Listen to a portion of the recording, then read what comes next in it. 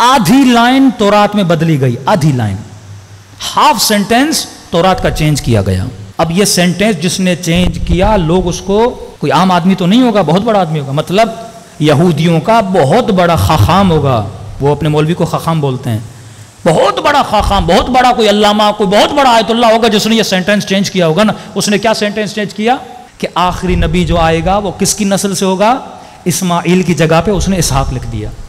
पूरी उम्मत को, उम्मत मूसा को इस बंदे ने गुमराह कर दिया। एक सेंटेंस यानी एक नाम बदलने के बाद, कि अल्लाह ने कहा, वो नस्ल जबी से होगा।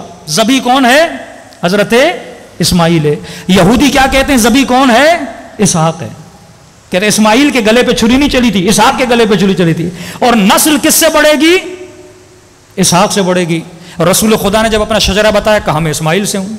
यहीं पे इख्तलाफ बना का नहीं, वो इसहाक से होगा, इस्माइल से नहीं होगा। और खुदा ने कुरान में हज़रत इब्राहिम का वाक़ इसलिए नकल किया ताकि यहूदियों की आँखें खोली जाएँ, वो इसहाक नहीं था। कौन था? इस्माइल था। आधा सेंटेंस बदलने से लोगों का दीन तबाह बर्बाद हो गया।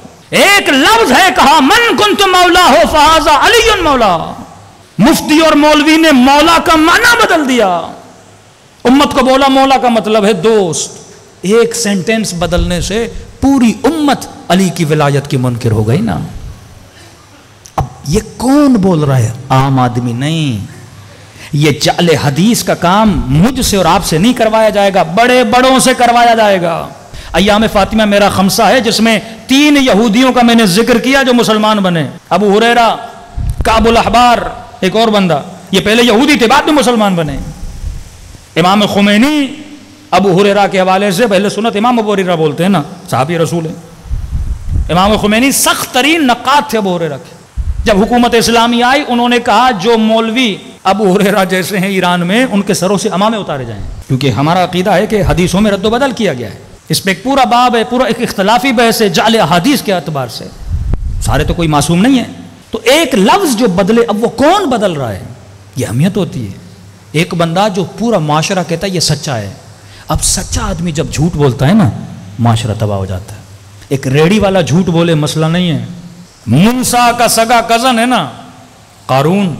बड़े बड़े आबिद बनी इसराइल के जब झूठ बोलते हैं तो माशरा तबाह होता है। तो अब देखो, शैतान छोटे छोटों पे मेहनत नहीं करता, वो बड़ों पे मेहनत करता है। उसको पता है, मैंने मुफ्ती को गुमराह कर दिया तो पूरी कौम क्या हो जाएगी? गुमराह हो जाएगी। अन्नासो अन्नास दीन मुलूक लोग अपने हुक्मरानों के दीन पे होते हैं। तभी दुनिया की बड़ी बड़ी ताकतें आप पे कम मेहनत करेंगी। किस पे मेहनत करेंगी? हुक्मरानों पे। वो गुमराह हो गए, कौम गुमराह हो गई। सेलिब्रिटीज बड़ा खतरनाक शोबा है सेलिब्रिटीज का। शिया सेलिब्रिटीज अहले सुन्नत की सेलिब्रिटीज जिनके पाँच पाँच मिलियन दो दो मिलियन एक एक मिलियन फॉलोवर्स हैं, उनके ऊपर हाथ रखा जाता है। इसे गुमराह करो, सारे जवान गुमराह हो जाएँगे।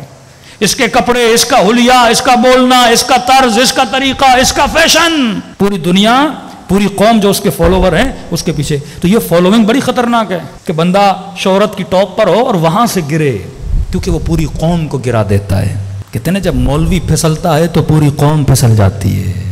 असल ज़िम्मेदारी तभी खुदा ने उलमा सू की मजम्मत की है। फरमाया, पहचानो साहिबान अक्ल को। अगर अक्ल अव्वल कोई है तो मुस्तफ़ा है।